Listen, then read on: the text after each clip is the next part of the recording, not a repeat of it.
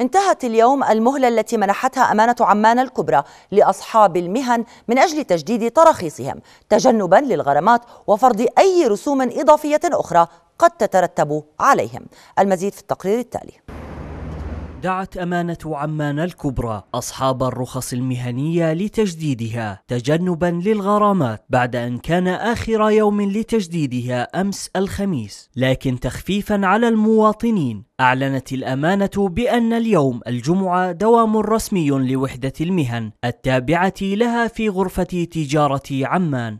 طبعا اليوم الجمعة آه، عطل رسمي بس آه، بناء على طلب من معالي الأمين ومدير دائرة المهن والإعلانات المهندس علي الحديدي آه، بدرنا في الدوام مشان المواطنين ما يدفعوا غرامات على التجديد. طبعا إحنا بلغ عندنا عدد الرخص لغاية أول امبارح 17000 رخصة.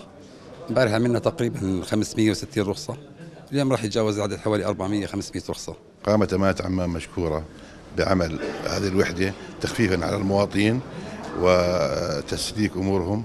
وهي مركزية تقوم بإجراء الترخيص لكل المناطق بدون استثناء.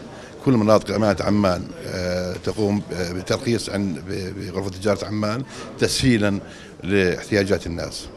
العديد من المواطنين استغلوا الفرصة التي قدمتها أمانة عمان وتوافدوا إلى غرفة تجارة عمان لتجديد رخص المهن حيث أبدوا سعادتهم بهذه الفرصة. عندي محل بخلدة. ومبسوط كثير إنه الأمانة خلت لنا اليوم فرصة عشان ما ندفع غرامات يعني. واستغلينا يوم الجمعة والحمد لله الأمور مشت تمام. أنا قدمت معاملتي اليوم غرفة تجارة عمان وكانت الإجراءات سريعة والشباب نشيطين والله يعطيكم ألف عافية. إذا هي خطوة جيدة بالنسبة للمواطنين بعد إتاحة الفرصة لهم تجديد الرخص المهنية تجنبا للغرامات وأي رسوم إضافية أخرى تترتب عليهم. علي الأعرج رؤية